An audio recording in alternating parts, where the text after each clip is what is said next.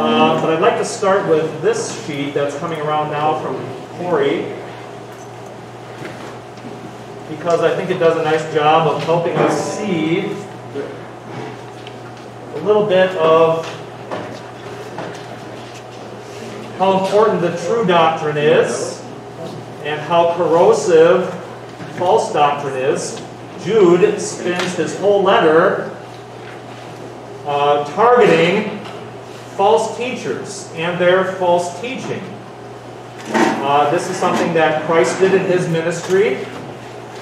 It's something that the apostles do in their writings.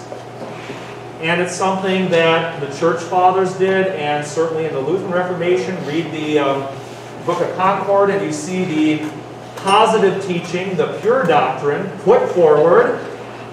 But also, there are times when it has to be made quite clear the other side that is actually to be rejected. Uh, and so this is something that we find in the prophets, we find in Jesus' ministry, the apostles, and certainly in the Lutheran Church as well. So the person on the top here is a guy named St. John Chrysostom. That's a nickname for him. It means golden mouth.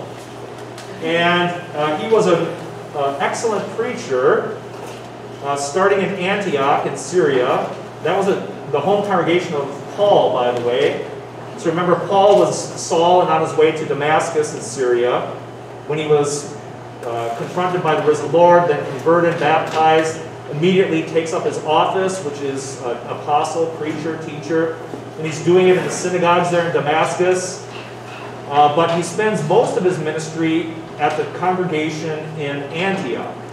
So he's listed with all these other teachers there. Uh, and that's the congregation that sends him out as a missionary. So he doesn't just kind of go on his own. Uh, the congregation there is the one who sends him, supports him, and hears back from him the report of the work that God accomplished. And I always love that part there in the book of Acts how the apostles, whenever they report back, it's always what God accomplished. So they're not saying we did it, but they're saying God did through His Word. And this sermon here is a classic. That's why I wanted it in front of you. This sermon here by John Chrysostom, probably preached uh, late 390s. He died in 407. Uh, so he went from Antioch. He was made uh, the archbishop, basically, of Constantinople, which was the capital city, which is probably the most powerful uh, church office at that time, apart from the uh, Archbishop of Rome. But this sermon here is one that is basically in the history of Christianity number one as far as Easter sermons go. Uh, Luther has a sermon that's number one as far as the descent into hell goes. In fact, the Lutheran Confessions quote that sermon and refer to that sermon, basically saying if you want to know what the Lutheran Church believes about Christ's ascent into hell, read Luther's Torgau sermon. I think it's 1533. So that is binding. Okay. This sermon here is fantastic, and I am going to read it. It's going to get us ready for the rest of our class today, looking at Jude. If any man be devout and love God, let him enjoy this fair and radiant triumphal feast. If any man be a wise servant, let him, rejoicing, enter into the joy of his Lord. If any have labored long in fasting, so coming off the season of Lent, if any have labored long in fasting, let him now receive his recompense. If any have wrought from the first hour, let him today receive his just reward. If any have come at the third hour, let him with thankfulness keep the feast. If any have arrived at the sixth hour, let him have no misgivings, because he shall in no wise be deprived thereof. If any have delayed until the ninth hour, let him draw near, fearing nothing. If any have tarried even until the eleventh hour, let him also be not alarmed at his tardiness. For the Lord, who is jealous of his honor, will accept the last even as the first. He gives rest unto him who comes at the eleventh hour, even as unto him who has wrought from the first hour.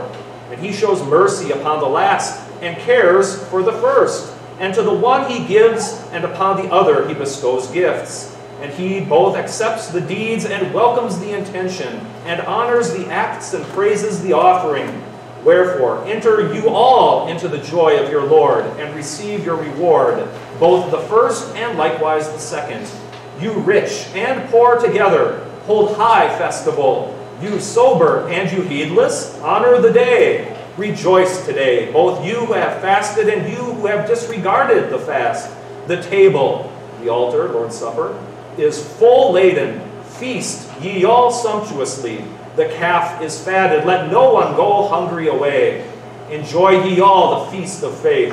Receive ye all the riches of loving kindness. Let no one bewail his poverty, for the universal kingdom has been revealed. Let no one weep for his iniquities, for pardon has shone forth from the grave.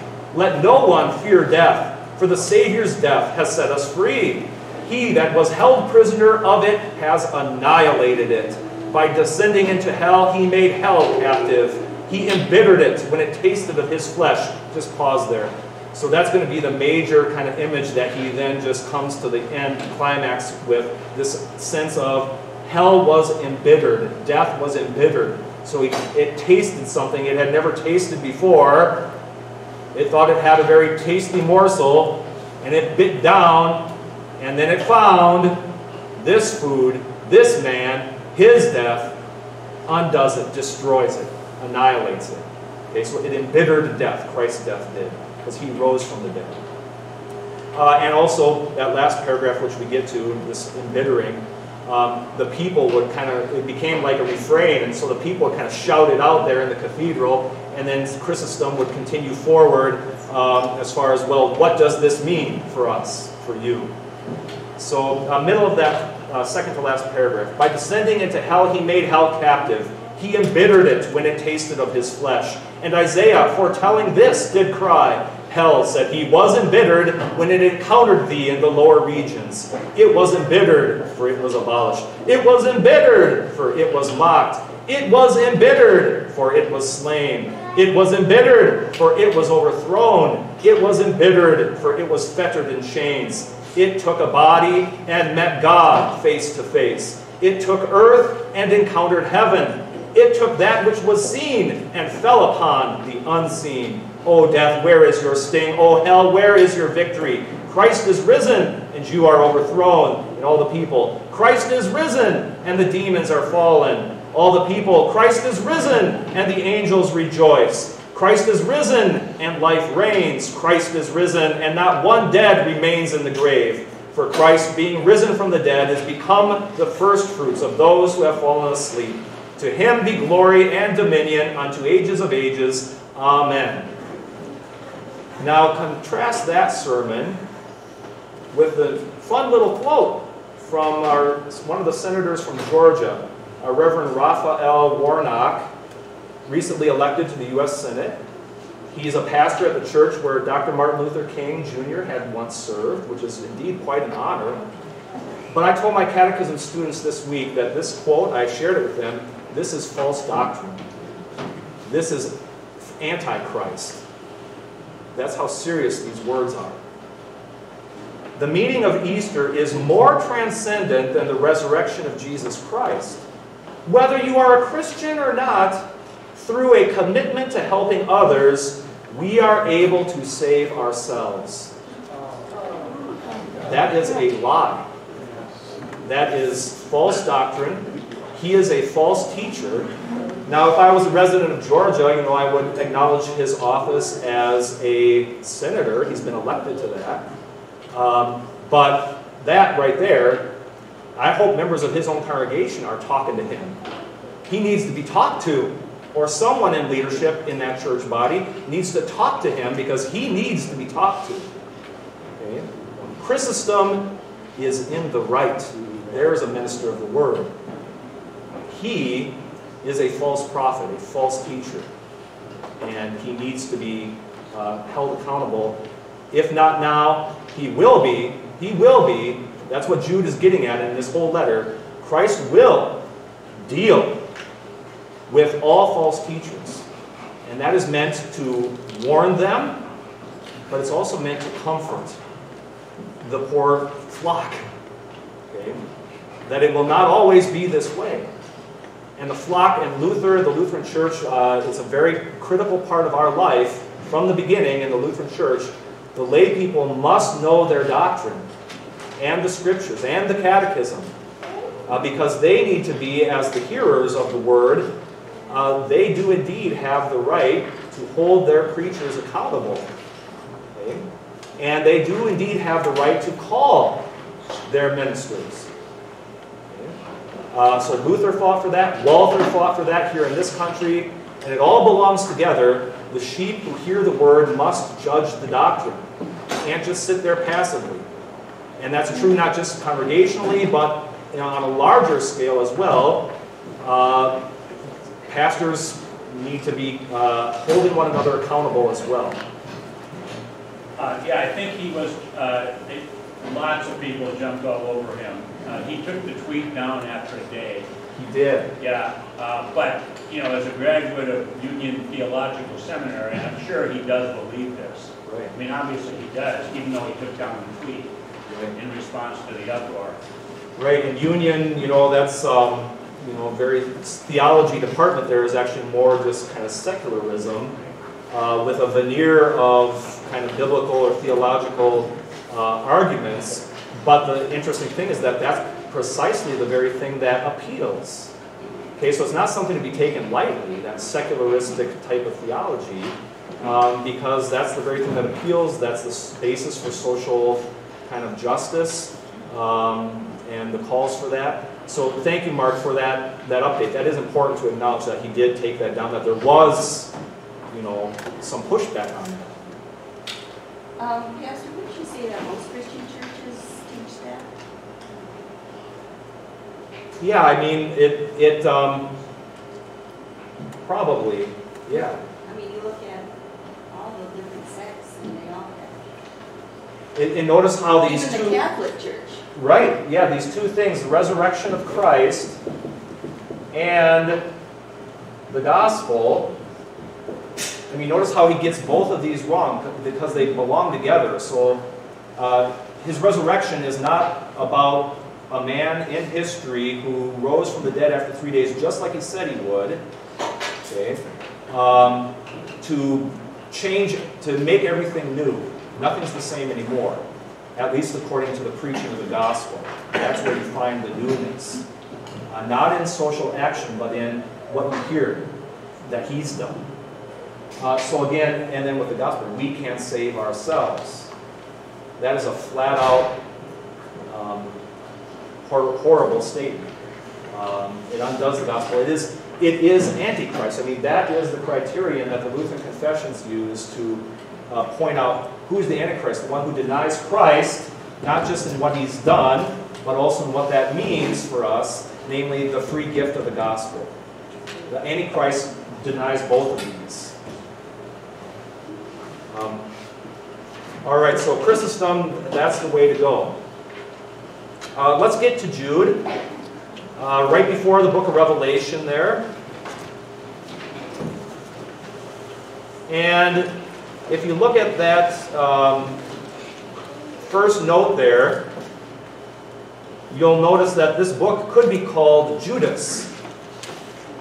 All right? Uh, and I kind of mean to be provocative there. Uh, Judas, uh, because that's what it is in Greek, Judas. Um, but it's based on the Old Testament name Yud, uh, Judah, we know it. So Judah, or Judas, or Jude, is all really referring to, it's the same name. And like that note points out to you, there's um, 44 times in the New Testament, it refers to eight different people. So you do kind of need to keep track of, of who is who. Um, let's just get right into it. In fact, let's read the whole letter. It's short. It has only one chapter. Uh, the whole letter, and then we'll go back and take a look at the different sections. And actually, if you could read with me, uh, if you have the ESV, that's the version we're using, the letter of Jude.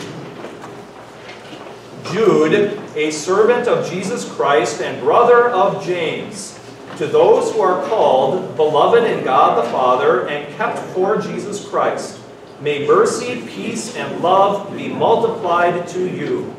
Beloved, Although I was very eager to write to you about our common salvation, I found it necessary to write appealing to you to contend for the faith that was once for all delivered to the saints.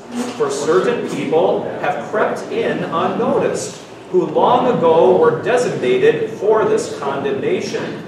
Ungodly people who pervert the grace of our God into sensuality and deny our only Master and Lord, Jesus Christ. Now I want to remind you, although you once fully knew it, that Jesus, who saved a people out of the land of Egypt, afterward destroyed those who did not believe, and the angels who did not stay within their own position of authority, but left their proper dwelling, he has kept in eternal chains under gloomy darkness until the judgment of the great day. Just as Sodom and Gomorrah and the surrounding cities, which likewise indulged in sexual immorality and pursued unnatural desire, serve as an example by undergoing a punishment of eternal fire. Yet, in like manner, these people also, relying on their dreams, defile the flesh, reject authority, and blaspheme the glorious ones. But when the archangel Michael, contending with the devil, was disputing about the body of Moses, he did not presume to pronounce a blasphemous judgment, but said, The Lord rebuke you. But these people blaspheme all that they do not understand, and they are destroyed by all that they, like unreasoning animals, understand instinctively.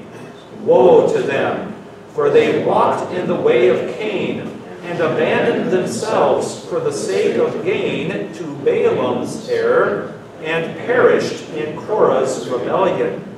These are hidden reefs at your love feasts, as they feast with you without fear, shepherds feeding themselves, waterless clouds swept along by winds, fruitless trees in late autumn, twice dead, uprooted, wild waves of the sea, casting up the foam of their own shame, wandering stars, for whom the gloom of utter darkness has been reserved forever.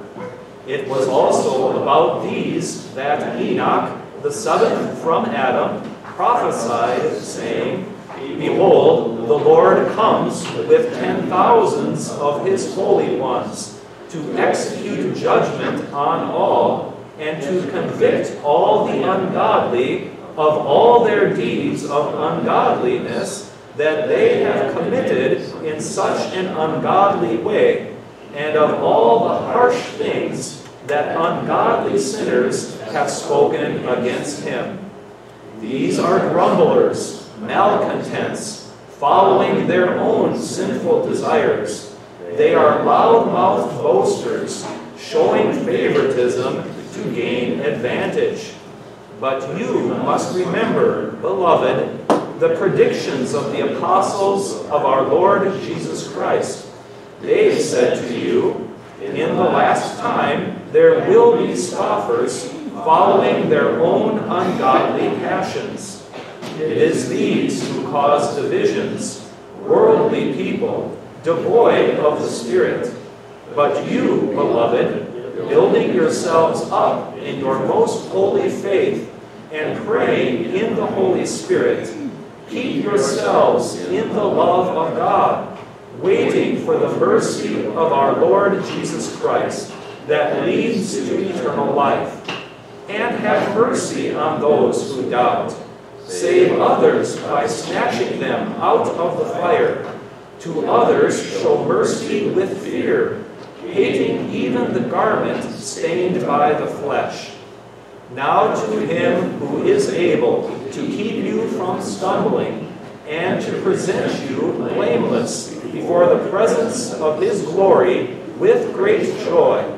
to the only God, our Savior, through Jesus Christ our Lord, be glory, majesty, dominion, and authority before all time, and now and forever. Amen. All right, thank you so much for doing that. Uh, we'll make our way through your notes, kind of break it down into different sections, and we'll make a couple comments uh, along the way at each spot. Uh, just to, as we go along, pay attention to the ways in which Jude likes to use threes. We said that was a little bit of a defining characteristic of his uh, style. Uh, that whereas Peter uh, used uh, twos, Jude likes to use threes. By the way, next Sunday we're going to go back to 2 Peter, the second chapter, and we're going to see that it's, it's like he's read the whole letter of Jude and has transplanted it now. It's become now the second chapter of his letter uh, with some alterations and you know, some editing that's occurred. But it's just very interesting. We're going to hear something very similar next week that we're taking up now this week. All right. Uh, so in that introduction, verses 1 through 4, Jude, a servant of Jesus Christ and brother of James. Uh, the, the way this is worded actually in Greek, it goes like this. Jude, of Jesus Christ, a servant. So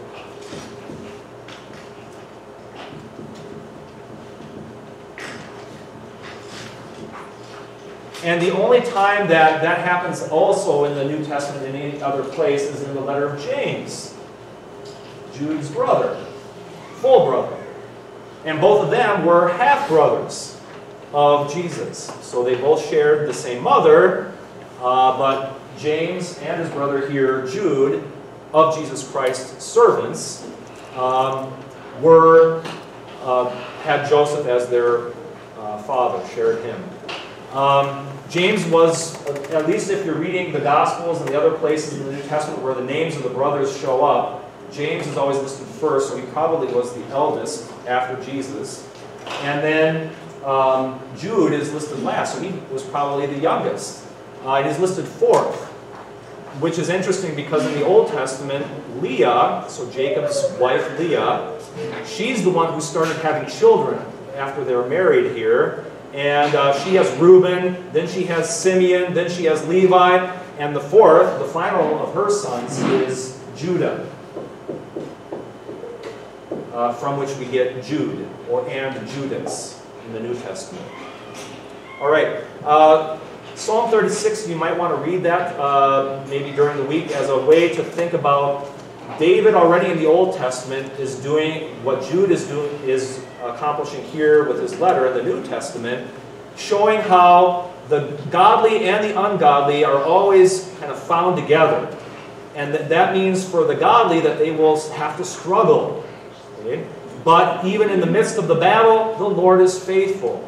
So Psalm 36 is an interesting psalm uh, that you might want to uh, consider. Matthew 23, likewise, in the teaching of Jesus, uh, he, during Holy Week, is uh, teaching in the temple courts, and he uh, is talking about the signs of the end, but he also blasts uh, the religious leaders. In fact, he even uses the same word we saw when we read through Jude here. Woe to you, Pharisees and scribes, Jesus said. Jude here addressing the false teachers in his day. Woe to you. Basically, if you continue in this teaching and propagating it, uh, you face judgment and condemnation. And the church already now talks that way. So remember John 20, the sermon today, the gospel reading and sermon, the ministry of the word. The word deals with both absolution, forgive the sins of repentant sinners, but also retaining the sins of the unrepentant as long as they do not repent. The goal, of course, is for them to come to repentance, but the only way that's going to happen is you don't share the gospel with such a person. They get to hear only law. In fact, it gets sharper and sharper in their ears. And they are not to hear the gospel, and they are to be excluded from the Lord's Supper until they repent. Okay? Then, then Yes, they are to receive this.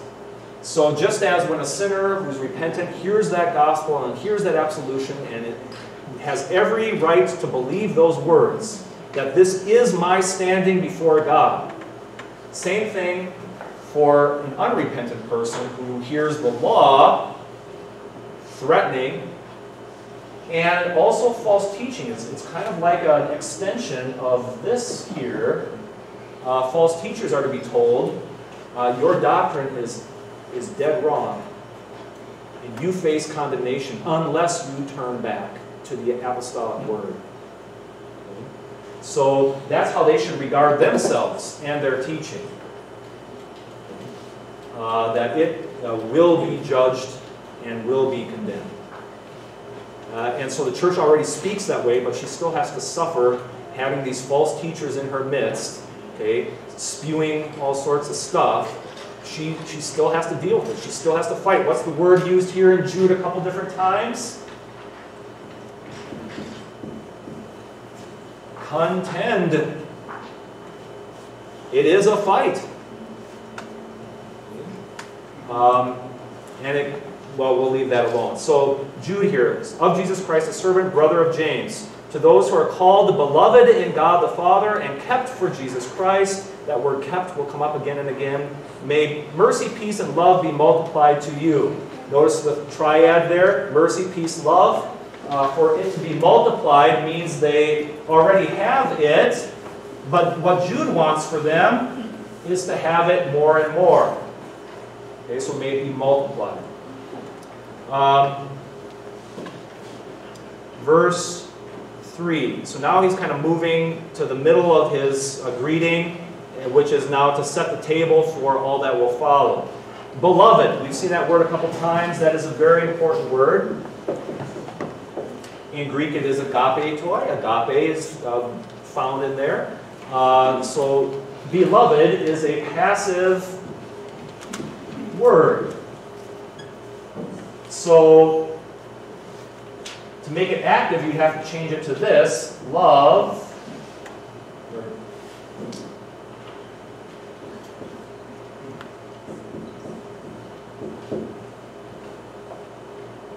God loves you. You are beloved by God. That's a uh, wonderful thing in the Gospels and throughout the New Testament is that there's a lot of these passives that are going on, uh, and the understood subject is not always it's not always expressed. So Jude doesn't write "beloved by God"; he just calls them beloved. But the understood subject is God is the one who's loving, and so beloved uh, with God's agape love, um, He loves you, and He's called you, and all these things have unfolded on the basis of His love and his peace and mercy will be multiplied to you on the basis of this love. But that's a great title, a great name for a Christian, beloved. Um, and you think of Jesus in the Jordan, okay, being baptized. This is my beloved Son. Uh, with him I'm well pleased. Uh, he's my chosen one. So that we share that name, we share that position, that place. Thanks to Christ and thanks to our baptism, that these words now also are ours. So, verse 3 Beloved, although I was very eager to write to you about our common salvation, I found it necessary to write appealing to you to contend for the faith that was once for all delivered to the saints. Um, a couple things here. Uh, to contend for the faith once for all delivered. Um, this word, it's actually just one word. It gets translated in this case as once for all. And later it also gets is found again later, the same word, and it also gets translated there once for all. I would argue that it should be translated a little differently that time, but this time, the first time, I agree. Once for all. This word has, you know, if you look up the word in the dictionary, you can have number one, the meaning, number two, the meaning, number three, meaning. So there can be like a range, and that's true for this word here. It can refer to once in the past, just kind of somewhat generic. But it can also be once in the past for all, never to occur again. So uh, the book of Hebrews talks about Jesus' sacrifice once for all. Okay? It happened one time in the past, and it will never need to be repeated again. It never will be repeated again. Okay? It was the full redemption price paid freely by Him once for all. Um, and that's what's uh, happening here. Contend for the faith that was once for all delivered to the saints. Okay? The body of doctrine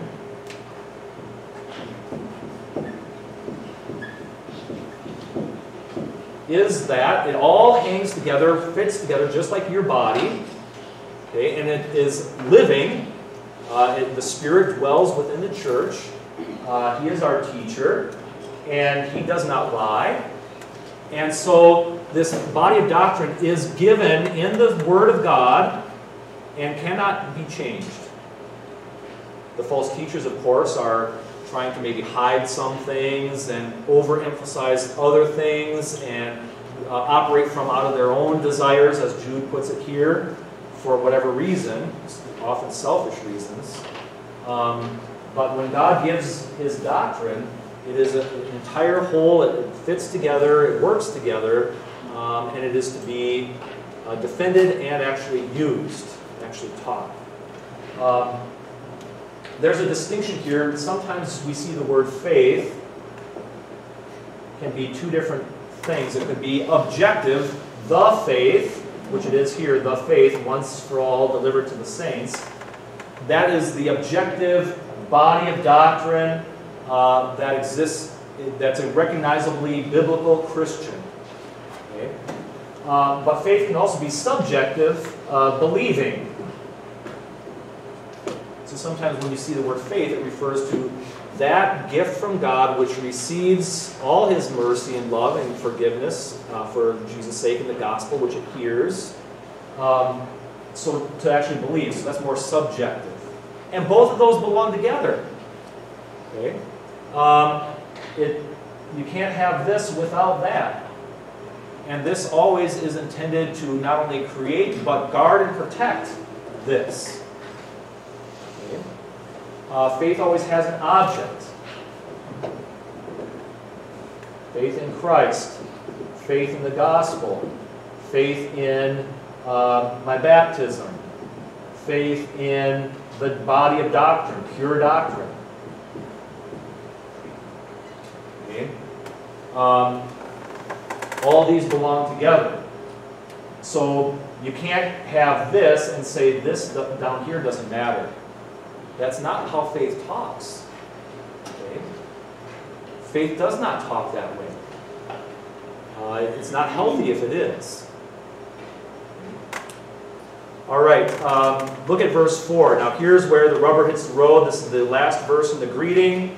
Um, certain people have crept in unnoticed who long ago were designated for, for this condemnation ungodly people who pervert the grace of our God into sensuality and deny our only Master and Lord Jesus Christ. Uh, we saw this with 2 Peter, uh, where it talked about our God and Savior Jesus Christ. Here it's Master and Lord Jesus Christ. Both these titles refer to Him. Uh, so it's not like our only Master, God the Father, and the Lord Jesus Christ. Um, the grace of God into sensuality. That's kind of the heart of the problem here. Uh, so Luther faced this in the Reformation, and it is a perennial uh, problem uh, for us because of the realities we're dealing with. That the gospel supposedly um, means that you don't need that. Okay? That we just live simply by the gospel. Um, what is the, that major distinction that we as Lutherans, and actually I'll say it this way, only Lutherans have it, in clarity anyway, what's that major distinction that we always are teaching? The distinction, be, proper distinction between law and gospel. The Lutheran confessions say that proper distinction between law and gospel is an especially brilliant light by which the whole scriptures are understood. Okay? When you lose that distinction, that's why there's heresy in the church. I, that's what I always say, is that the reason there's problems in the Roman Catholic Church is that that distinction was not maintained. The reason there's problems in the Baptist or Methodist church is because that distinction is not maintained. That's where the problem always starts. And the only way to reform the church and heal the impurity is to get back to this. So it was a problem not just for Luther in the Reformation, but for Jude in this letter. The false teachers were um, trying to remove the law. Okay, so they're changing the grace of God into sensuality, which is lawlessness, really. Um, and what we see then is that when this distinction gets weakened, things start to kind of elide, and the law no longer is the law, the gospel is no longer the gospel. And really, all you have left, you always will have left just basically this. The law is, is what remains. Okay? Um, that's what you're left with, and you can't make that distinction. All right, verse 5. Um, as you see here, um, Jude is going to, uh, in a couple different sections here, go back to the Old Testament and um, draw on it to confront the false teachers today. So he'll have um, an example from the Old Testament, might take a verse or two, and then he'll close it out with application to the false teachers today. So we'll, let's do that with the first section here, starting in verse 5. Now I want to remind you, although you once fully knew it, that Jesus, who saved a people out of the land of Egypt, afterward destroyed those who did not believe. Uh, what's interesting about that verse?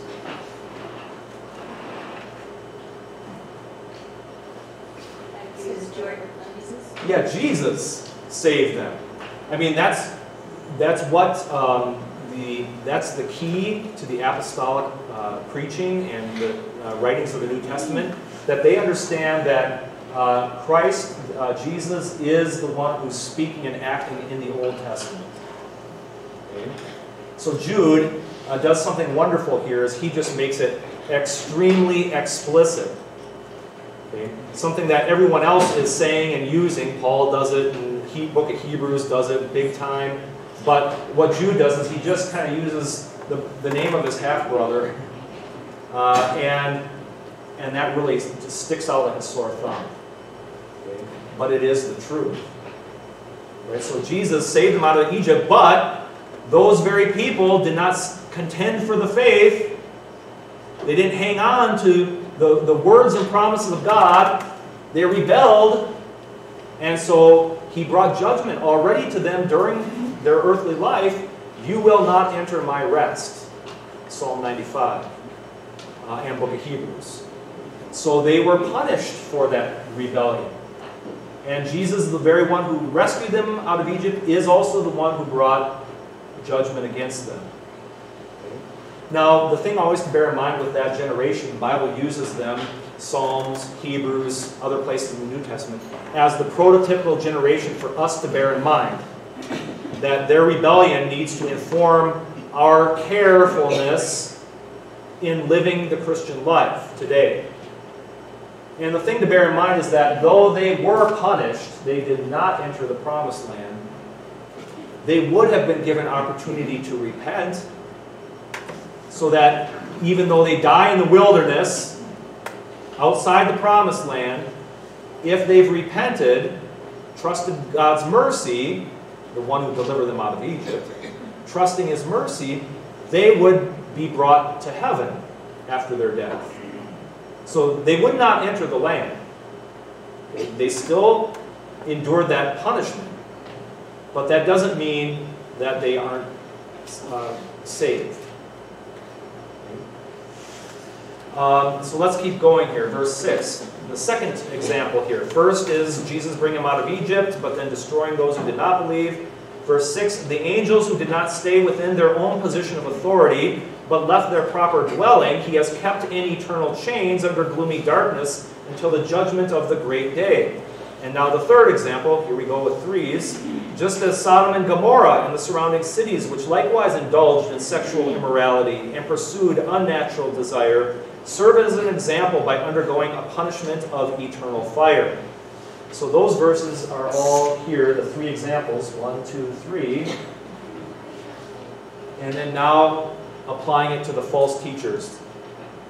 Yet in like manner, these people also, relying on their dreams, defile the flesh, reject authority, and blaspheme the glorious ones. So angels, uh, basically. So uh, again, the three, the triad there.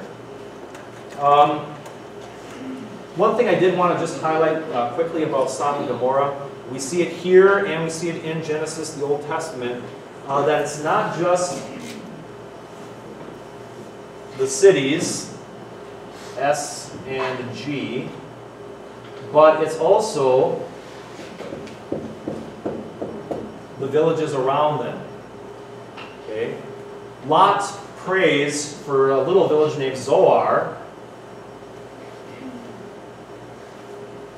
and they flee to Zoar, and that's not destroyed. But Sodom and Gomorrah and the little towns around got destroyed. And the reason I want to bring that up is this issue here of sensuality, uh, sexual licentiousness, uh, which the false teachers were promoting uh, as a way to, in, in a sense, um, give people what they want to hear. Okay? Attract them to, to me, the person, as their teacher. I'm the one you can rely on. Okay? That's what that was the dynamic that was going on. But notice how also those that are around it, it's like collateral damage. Okay? That's why uh, in the uh, epistles of the New Testament, the apostles all are, uh, make it clear, not only do you, you, you must deal with false teachers and false teaching, because what, that, what happens is it uh, defiles the whole congregation. Okay? We don't think that way.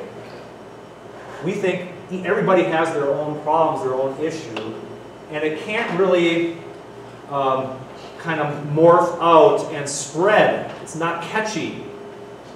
Okay? I mean, we talk about that socially. That is one of the biggest issues when we're talking about some of the social issues. So, like, let's say gay marriage. That doesn't impact me and my marriage. That's the, the false thought there. Because it does. Okay? Um, it never, uh, it can, never can just be kind of confined. Okay? Um, it's always spreading. Okay? Um, I guess I was reading here about some of these laws that are, you know, they're trying to put into effect regarding transgenderism. And the article was putting it this way, that, you know, uh, suicidal thought, you know, suicidal thoughts are um, very, very high within the homosexual community, and they are even higher among transgender people struggling with that issue. And the way the article presented it was almost like, so therefore, we need to make sure that insurance covers any and every um, transgender uh, medical um, procedure, medication, um, surgery, also of children okay, under the age of 18. That's part of the problem that we're seeing developing is that parents also are completely losing their authority here. Okay? And we're seeing that children, it's becoming kind of a, uh, my friend does it, and so then that kind of pulls me over in that direction. Now it becomes a popular thing to do. Okay? And so now I'm going to do it. But the, the argument against that is, well, they're not old enough yet. That doesn't count. The law is still getting rammed right on through. The agenda is getting rammed right on through. But let's step back. I mean, isn't that the very issue? We're not letting children be children, where the adults in their life are responsible and are teaching them and are helping them and are with them through the pain. Okay? Will not abandon them. Okay? Uh, and uh, that they literally are not able to make these kinds of decisions. And what if the response to this kind of epidemic of suicidal thoughts within the homosexual community, within the transgender community, what if the problem is the thing itself? What if that is the source of this for them?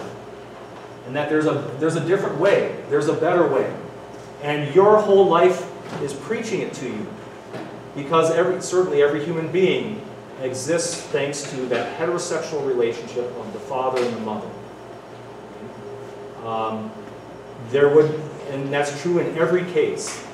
I mean, you want to talk about the science, there's not many things where literally every single time that absolutely is always the case without any exception. Okay? Um, and so that should be telling us something. Um, all right, let's go to uh, the next section. How about I'll let you guys take a look. Is there anything that of these sections that is kind of most interesting you? So the next one, verses 9 and 10, Jude employs the illustration of the archangel Michael. There you see the two places. Deuteronomy 34 is Moses' death. Zechariah 3 is very intriguing. Uh, there's a high, Jewish high priest named Joshua, and he's Zechariah uh, is writing about him, and he's clothed in his priestly garments, but they're all dirty. And on his right is the archangel Michael, and on the other side is uh, the devil, Satan, the accuser. And Satan is basically, you know, saying to Joshua, the high priest, you know, uh, you know, you're worthless, etc., etc. And Michael, the archangel, basically steps in. He says, "The Lord rebuke you." So even though Michael, the archangel, has great power, great authority, he leaves it to God. But these false teachers have no real authority, and yet they speak in these you know, wild ways. Uh, they kind of are loudmouth boasters, he said in another place. Even Michael doesn't talk that way. He says, The Lord rebuke you. Um, the next one, uh, 11 through 13, Cain, Balaam, Korah. You remember Korah, he wanted to uh, replace Aaron, the high priest, and um, you know all God's people are priests. And um, Moses says, okay, fine, burn your incense, and everybody come out and burn your incense, and we'll see who the Lord accepts. And Korah and it's about like 250 of his followers, the earth opens up and swallows them whole alive as judgment against this rebellion against Moses, against Aaron, and ultimately against the Lord. Uh, but the, the, false teachers that Jude is dealing with, um, they're not af afraid of judgment. They say there will be no judgment. There's no such thing. Okay? That's the big, the big issue. There's no judgment. There's no definite pl plan and will of God for human life. There will be no last day. The world just keeps going. It keeps going on its own. Okay? He'll not come back. That's what they're saying. Um, First Enoch, uh, there, verses 14 to 16. That was a Jewish writing between the Old Testament and the New Testament. Uh, the first chapter is uh, very strong, powerful, um, and Jude quotes from this non-biblical source, uh, but brings it forward, and uh, then applies it to the false teachers. Again, we see that Old Testament and then application. And then the final one is the warning from the apostles. Um, and I do want to point out, I put all those verses in the parentheses. This is a very important thing in the New Testament, where when we talk about the end time, we don't just mean the last day and the uh, days immediately leading up to it. We mean everything from the death and resurrection of Christ until his second coming. So we are living right now in the last days. And Peter preaches that on Pentecost. That's the Acts chapter 2. Uh, book of Hebrews starts off that way. In many and various ways, God spoke to his people of old by the prophets, but now in these last days, he has spoken to us by his Son. Um, so all those verses there show us how the New Testament talks that the end times are this whole thing. We are in the last days. It's not something in the future, it's right now. Okay, and we're looking forward. And again, he will return. That's part of the apostolic teaching. It's part of the creed, isn't it? He will come to judge the living and the dead. The false teachers that Jude is uh, contending with, they would not say that. They'd say the opposite. They could not confess the Apostles' Creed. That's one of the ways that shows, okay, unmasks uh, that they are indeed false teachers. They can't teach something that is uh, very prominent, that is part of the uh, New Testament. All right, um, let's uh, end there. We'll conclude with the benediction, or with uh, the collect for the week. Maybe just keep these because next week we're looking at 2 Peter 2, which is basically like Jude. And then the following week, we're going to kind of compare and take a look at both of them together. So we might be able to just touch back on Jude here a little bit uh, on that occasion. Well, I've been remiss. The Lord is risen. He is risen. Hallelujah. Let us pray. O God, grant that we who have celebrated the resurrection of our Lord may uh, indeed in our life and conversation confess Him to be Lord and God. Through the same Jesus Christ, our Savior, who lives and reigns with you and the Holy Spirit, one God, now and forever. Amen. Amen.